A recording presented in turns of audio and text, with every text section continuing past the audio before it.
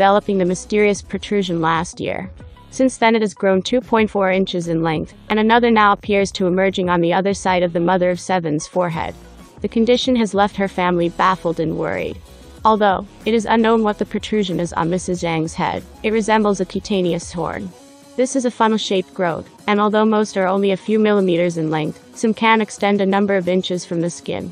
Cutaneous horns are made up of compacted keratin, which is the same protein we have in our hair and nails, and forms horns, wool and feathers in animals.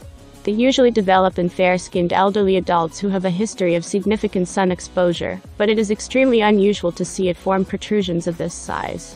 The growths are most common in elderly people, aged between 60 and the mid-70s. They can sometimes be cancerous, but more than half of cases are benign. Cutaneous horns